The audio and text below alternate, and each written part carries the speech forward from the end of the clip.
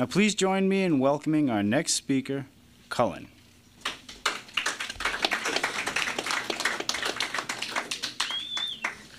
My name's Cullen, and I'm an alcoholic. Hello. Um, you know, I've had the pleasure of speaking at Alcoholics Anonymous meetings before, but I have to tell you that this feels a lot different because I think I know, I know I have the capacity to be honest tonight. And uh, when these two young boys walked in, I was like, thank God they're here because I can totally just relate to that age because that's literally about how old I am. I was so lovingly um, told outside that uh, I could give a cake to somebody that I've always really respected um, on Sunday and that I could take my whiner chip. So uh, that says a lot about my sobriety. But, uh, you know, I, I really like I've I'm blessed. I'm just blessed, and I know that it's really hard to sit in these rooms and listen because I do it too, and I have a really hard time doing it sometimes. And it's okay if you guys don't hear me. You know, maybe somebody will, maybe somebody won't. It's not really about me, and uh, that's that's pretty new to me too. Um, it's it it's funny like. I love the people in my life that are in recovery so much because they they just they treat me with love and the way that they do that is they they just act like themselves. And what that's done is allowed me to be where I am literally tonight. And uh, and I'll, I'll hopefully get to that soon because I'm actually scared and I'm just gonna admit that. But uh um I had a really good friend tell me that I stopped drinking and started thinking.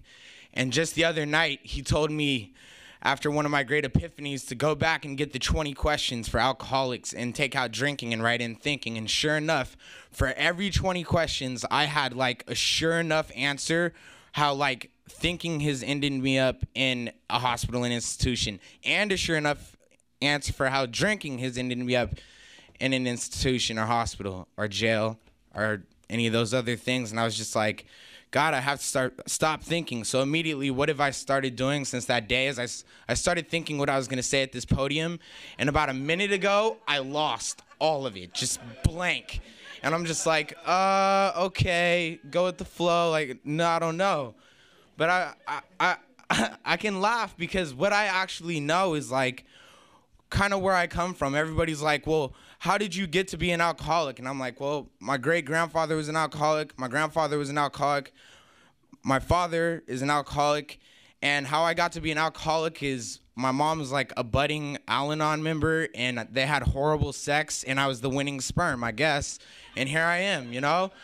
I, uh, I literally blamed my parents up until a few hours ago. Honestly, I swear to you. I mean, I, I I'm being dead honest right now. Um, and I and I had I, I, I had a very spiritual experience about two hours ago, and it, it's been happening for like 36 hours. And of course, I have to speak on New Year's Eve, and I'm like, oh God, just like so funny. You know, my my higher power is just he's he's a clown, and he likes to play with me, and it's funny now, you know, because I can laugh at the jokes too. I used to. I used to think that I was the the butt end of like the worst joke ever called my life. And uh, when I was about one month to two years old, I was in and out of the hospital with fatal illnesses. I was allergic. My mom calls it sensitive to substances like milk, you know? And I mean, I literally died three times before I was two, and I just found all this out in sobriety.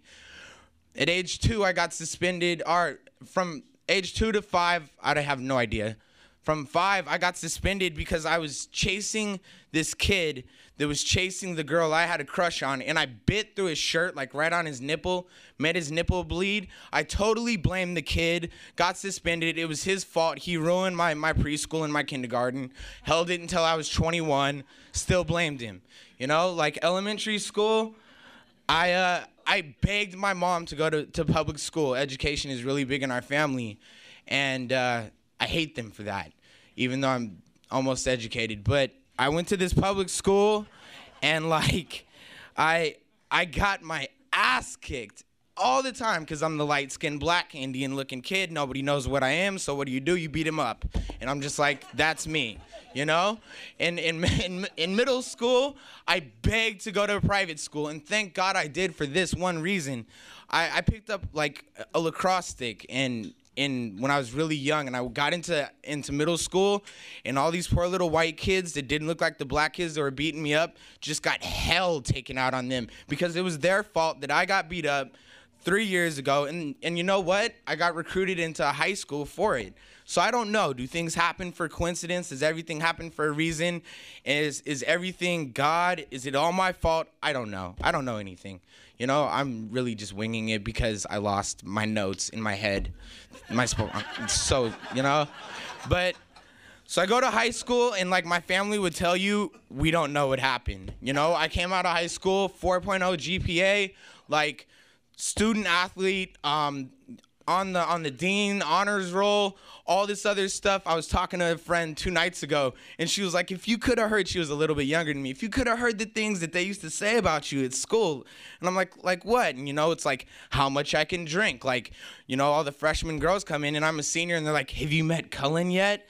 And you know, probably then I thought it was really cool, but they're like, "Stay the hell away!" Like he's nuts. Well, sure enough, it's true. Like by the time by the time I was 20 years old, I have been 5150 15 times. I've been arrested five times for for all pretty violent crimes. Never went to jail strictly on it. I always talked to cops into taking me to the hospital. I was always going nuts. I didn't want to have any responsibility, and it was always my parents' fault. My parents are bad to me. My dad's one of us. I think he probably saw the answer a long time ago. He's like, Yeah, I have no responsibility for that. You're on your own. My mom's the codependent. She's like, I'll raise him and save the world. And my mom has been my higher power for so long that it it was like crippling. And then thank God for AA. Thank God for the men in AA. Thank God for the women in AA who just like so gently burn me with real information so that I have to look at myself and take my whiner chip because I've been whining for 18 months and finally coming to the realization that there actually is a higher power of my own understanding and of all these accomplishments and all these failures that I've had in my life are mine. They're mine, you know? Because all the time I'm blaming everybody else, you know, for, for all these horrible things that they did. I never got to look at my own accomplishments, you know? And it's one of those things that I'll, I'll be telling my kids, like, yeah, I could have been this and that but I wasn't because I wasn't and I didn't want to. I mean, like, that's a real good story. You know, it sounds a lot better with like a bullet in my leg or something to really blame about, but I can't. You know, but I did. I, I, I'm smart, which is a curse in Alcoholics Anonymous because you think all night and you don't sleep and you analyze like cartoons that have nothing to do with anything. And you want to tell your friends about the cartoon you watched in the tsunami and it's not a funny joke to them. And you're like, what the fuck? Like, I, I spent all night on this, on this essay. And they're like, you're crazy. And fine, I'll be crazy. I'll be all of that because I'll get to where I am right now. So on July 3rd, 2003, after all these great accomplishments and great failures that I never took credit for ever, even like most of my sobriety, I killed myself on heroin. Something I thought I'd end up doing when I was like playing lacrosse with all the preppy kids? No. But I did it because I hate feeling and I hate it now and I hate the fear and I hate your eyes looking at me, but yet I love it. Just like all of us. It's the hate love of feelings that we all have. We all want the ups and none of the downs. And that's me. I want all the pluses and none of the minuses all the time. And in fact, I want more pluses more of the time. And if, if God, whoever's dishing it out, can dish it out, I want to talk to him directly and I want him to hook me up and fly me over where I, where I can pick it up and have control of it so I can give it to myself. It's insanity. So, but it's, it's how I am. I don't like feeling, you know? But I've learned through sobriety to do it because without the grace of, of, of AA, who I just clown on all the time. Just like, I hate this, I hate that, as I break my shell, of course, whatever. But uh, it's just I, as I clown on AA all the time, I can look back tonight and remember specific incidents as I've seen specific people in this room tonight as I've run in and out of this room since like five o'clock tonight and get phone calls with people telling me that they, they love me and happy new year even though we don't celebrate New Year, or whatever. I'm just like in awe. Because if that's not God, I don't know what it is. Because for me, what AA has done is it's taken a little boy as big as I am, and it's it's it's made me face myself. And that that process, without my mom here, with no money, with any of that, I have a book and a cell phone, and I work with kids all the time. That's why I'm like, thank God they're drawing. They're not even listening. I love it. It's just the best. But it's it's it's an it's a, it's an experience that I can't explain, and that's how I know it's real. Because I've been able to talk my way in and out of every situation that I've ever been in in my life, and I can't explain AA. So I'm not gonna try, and I'm not gonna think about it because I have the most amazing feeling tonight. So I kill myself on heroin. I don't remember it. I called my mom. Of course, she's my higher power, right? I guess. No. But uh she she took me to the hospital and I checked myself out of the hospital. I mean, I knew how to talk I knew how to talk the doctors out of letting me out. I mean, bleeding, I was I was pissing urine for over a week. You know, my my girlfriend, it was her fault for a long time too. She pretty much hands me over to my mom because that's what you do, I guess. And my mom hands me over to the doctor and the doctor's like, "We want to have nothing to do with it." I checked myself out. Had no idea about the disease of alcoholism. I swear if I would have had real information then, I probably would have run into these rooms. But instead, with all the self will that I could, I laid on a couch and I kicked heroin with no meds, no drugs, nothing but the worst feeling that I've ever had in my entire life. And that's what keeps me sober sometimes is like Jack Daniels is like, that was staple, you know? Heroin, staple, whatever it was, staple. Anything not to make me feel. I hated beer. Why drink beer? It takes too long. It smells better on my breath to girls anyway if I'm drinking Jack, you know? And I pass out. And I don't remember it. Fine, it's all good to me. So I thought until I had to face it for real. So I check myself out. I kick for 30 days. Don't get a 30 day chip. Whine about that right now. So. So I'm laying on the couch. My mom won't have me in the house. I'm not allowed to go back to my house because I totally had this drug pin going on and I had a reputation to keep. My mom has a reputation to keep. My dad's like, I'm an alcoholic and I'm sober. I'm out. You know, whatever. I love him to death. I'll tell you how I got to talk to him too. Um,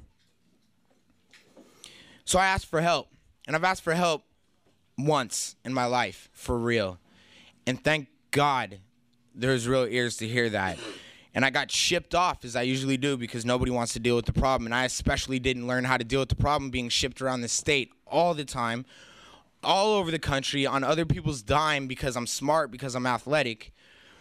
And I ended up in LA. And I got to LA and I met this big punk. And I mean, it's it's been my lifelong dream. I'd been tattooing myself since I was like 11. You know, they call it cutting now, whatever. I don't care. I have tons of tattoos. So I meet him, and he didn't patty cake it at all, but at the same time, he didn't dismiss me.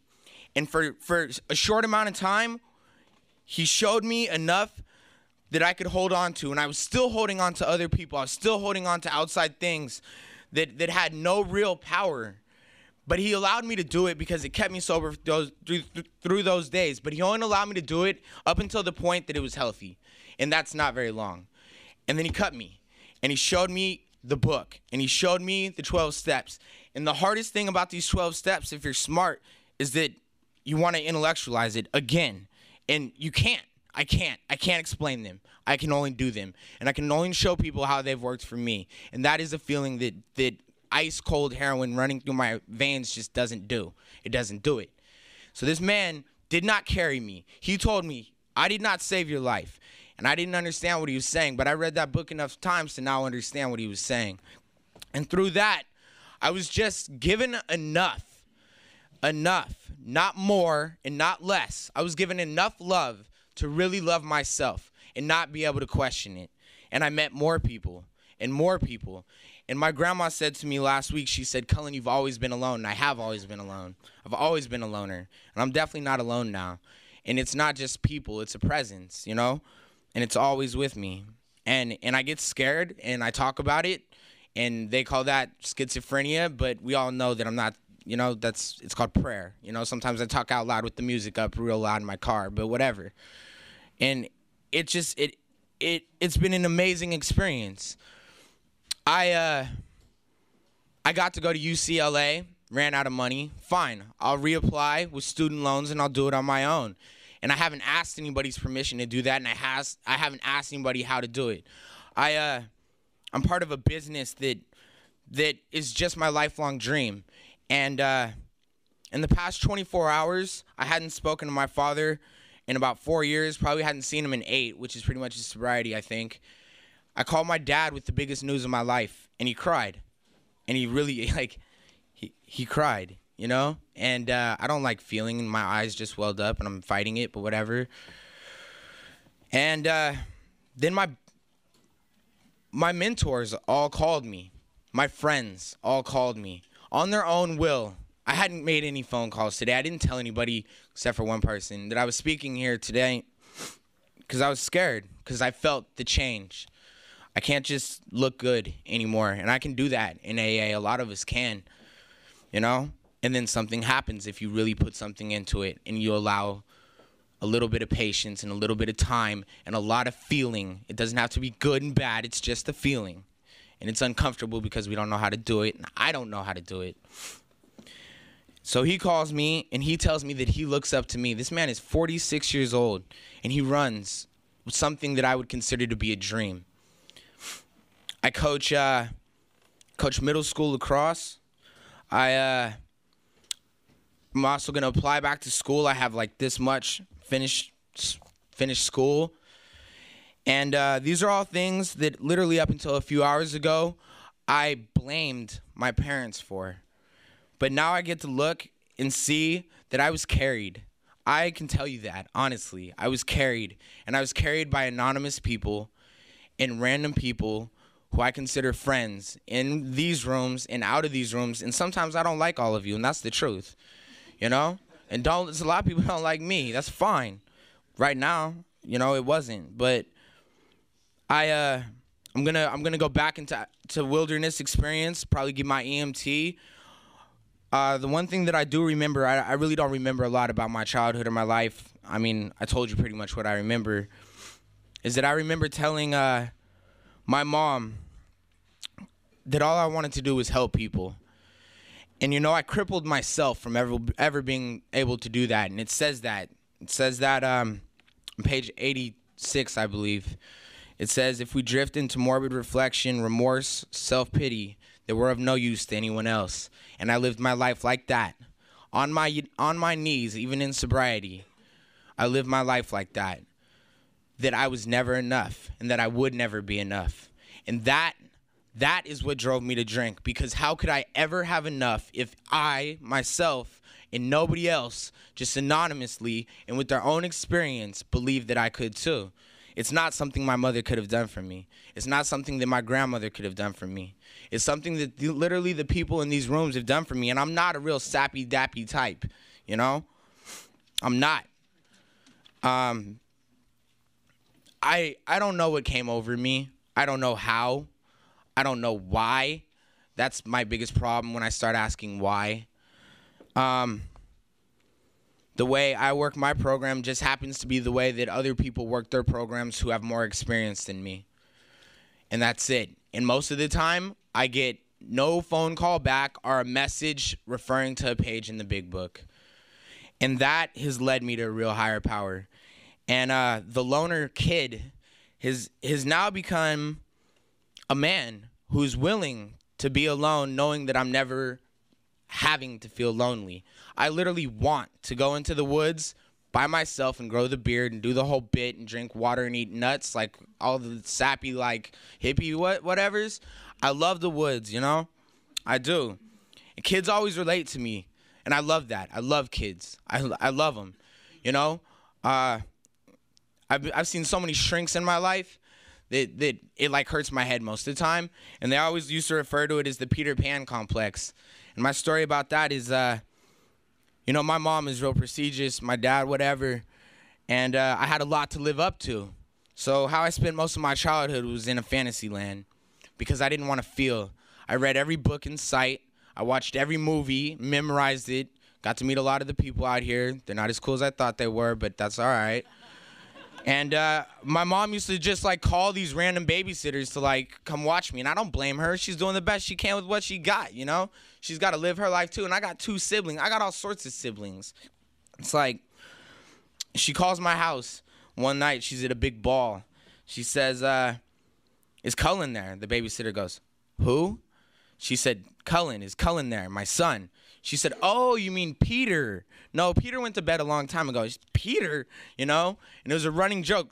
But she kept calling the same, different babysitters, you know, and I got away with it.